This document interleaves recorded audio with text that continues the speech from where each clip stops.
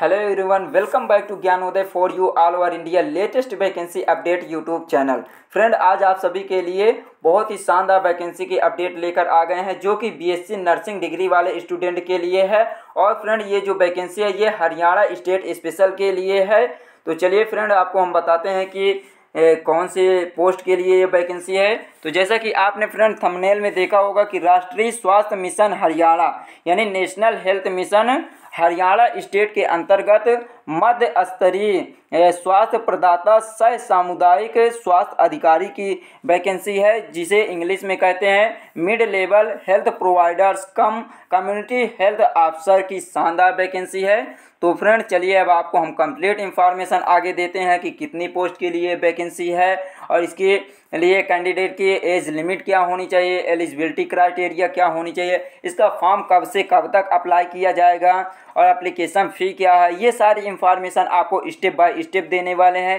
इसलिए फ्रेंड आप सभी से रिक्वेस्ट है कि यदि आप कंप्लीट इंफॉर्मेशन चाहते हैं तो अपने करियर के लिए 10 मिनट का समय ज़रूर दीजिए यदि आपके पास 10 मिनट का भी समय नहीं है तो प्लीज़ यहीं से आप अपने वीडियो को स्किप करके आगे बढ़ सकते हैं ये आपका हक है तो चलिए फ्रेंड अब आपको हम complete information step by step देने वाले हैं तो चलिए अब आपको हम ऑफिशियल नोटिफिकेशन की जानकारी देते हैं तो फ्रेंड जैसे कि आप देख सकते हैं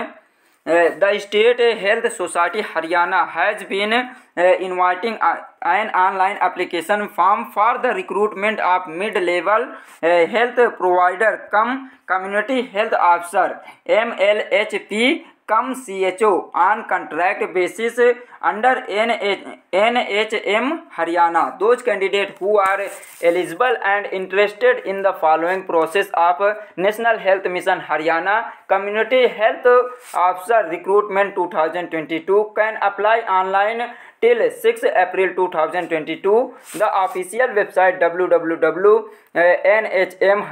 dot 2022. O V dot in तो फ्रेंड हरियाणा के जो स्वास्थ्य समुदाय है उसके द्वारा आप सभी के लिए बहुत ही शानदार पोस्ट के लिए ऑनलाइन एप्लीकेशन के लिए आमंत्रित किया जा रहा है कौन से पोस्ट के लिए mid level health provider cum community health अफसर के लिए है ये है इसकी जो पोस्ट है इस पोस्ट के लिए वैकेंसी है और फ्रेंड ये मेल एवं जो भी मेल एवं फीमेल कैंडिडेट हैं ये तो स्पेशली मतलब ये है कि जो नर्स के लिए फॉर्म भरते हैं अधिकतर फीमेल कैंडिडेट ही अप्लाई करते हैं तो ये जान लीजिए कि जिसके पास भी नर्सिंग की डिग्री है वो फॉर्म अप्लाई कर सकता है और देखिए फ्रेंड इसका जो फॉर्म अप्लाई किया जाएगा कब तक किया जाएगा ये सिक्स अप्रैल तक इसका फॉर्म अप्लाई किया जाएगा तो जो भी कैंडिडेट इसमें फॉर्म अप्लाई करना चाहते हैं फीमेल कैंडिडेट हैं वो इसकी ऑफिशियल वेबसाइट में जाके कंप्लीट इंफॉर्मेशन लीजिए और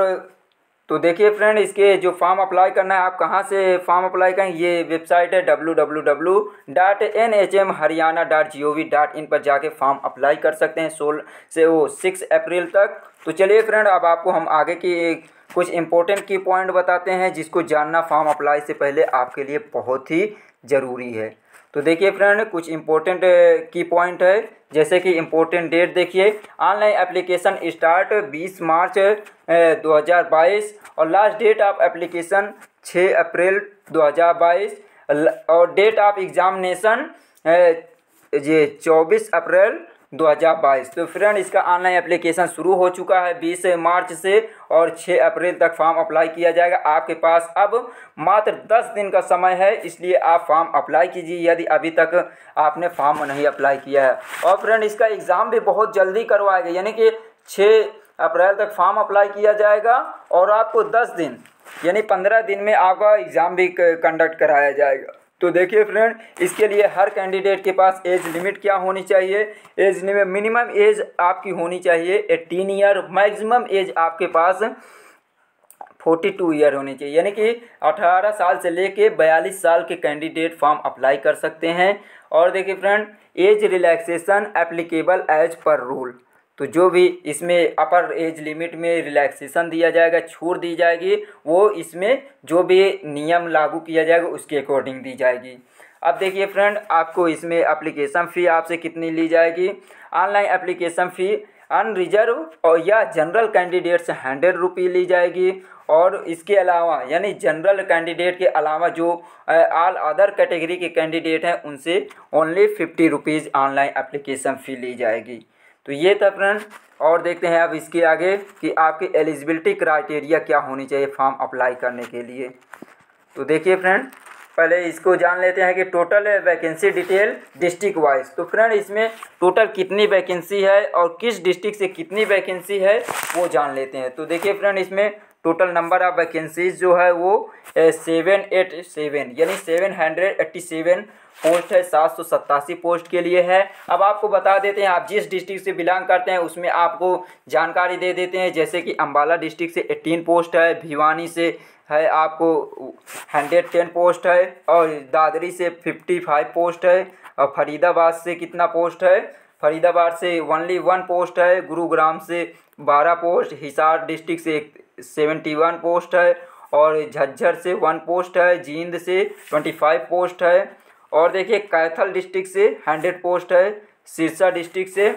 आपको देखने को मिले एटीन पोस्ट और वहीं पे देखिए कुरुक्षेत्र से सिक्सटीन पोस्ट है करनाल से ट्वेंटी थ्री पोस्ट है मेवत या नूह डिस्ट्रिक्ट से दो पोस्ट है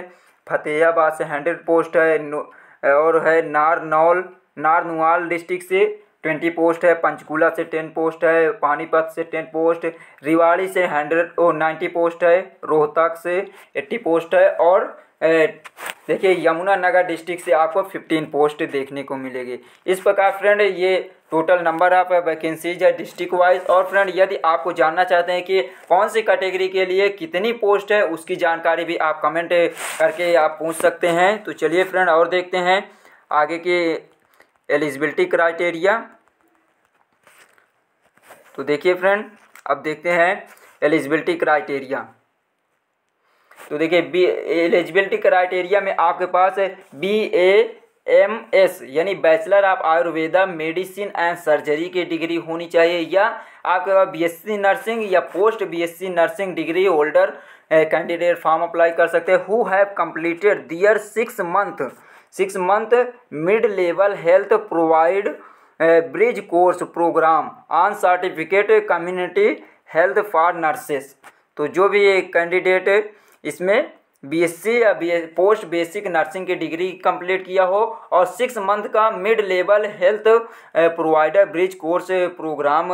भी कंप्लीट कर चुका है वो फॉर्म अप्लाई कर सकता है from I G N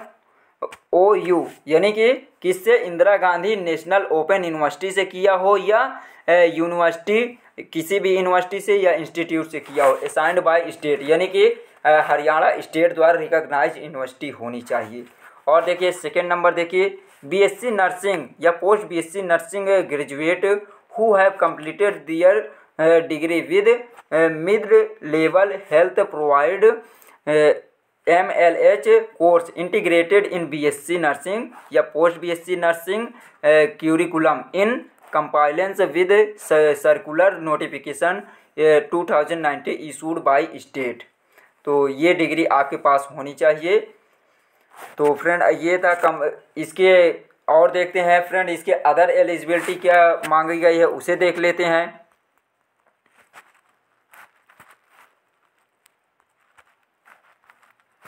तो देखिए अदर एसेंशियल एलिजिबिलिटी क्राइटेरिया क्या है कुछ और आवश्यक जो आपसे योग्यताएं मांगी गई है जैसे कि देखिए Hindi Sanskrit language up to matriculation level यानी आपके पास हिंदी और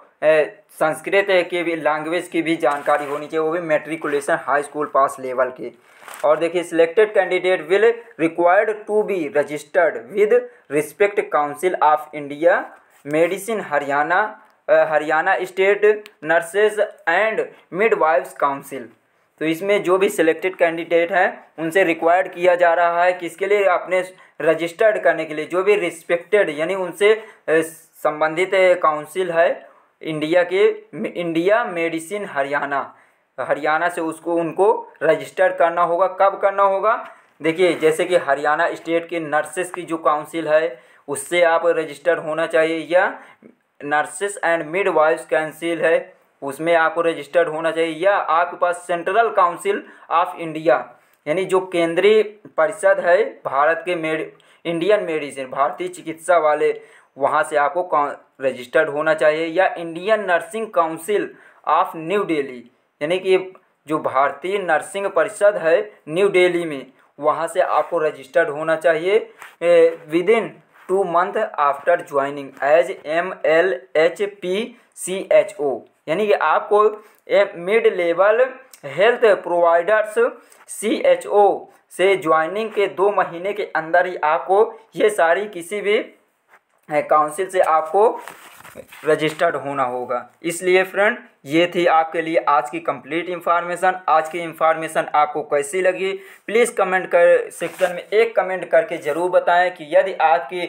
आज की ये वीडियो आपके लिए हेल्पफुल रही है तो प्लीज़ एक लाइक और एक शेयर जरूर कीजिए यदि चैनल पर फर्स्ट टाइम विजिट किए हैं और आप चाहते हैं इसी प्रकार आपको लेटेस्ट वैकेंसी के नोटिफिकेशन मिलता रहे तो चलिए फ्रेंड चैनल को सब्सक्राइब कर लीजिए और बेल आइकन को प्रेस कर दीजिए और फ्रेंड आपको एक बहुत ही शानदार जानकारी आपको देते हैं कि फ्रेंड जिस प्लेटफॉर्म पे आज आपने विजिट किया है उसमें आपको यानी ज्ञानोदय फोर यू में आपको किसी भी प्रकार के फेक इंफॉर्मेशन नहीं मिलेगी चाहे किसी भी स्टेट की वैकेंसी की हो या ए, कोई भी इंफॉर्मेशन हो result admit card latest vacancy की इसलिए फ्रेंड आपने जहाँ पे जुड़ा है बहुत ही सही जगह है तो चलिए फ्रेंड इसी के साथ मिलते हैं एक नेक्स्ट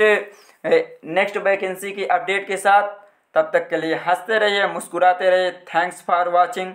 जय हिंद जय भारत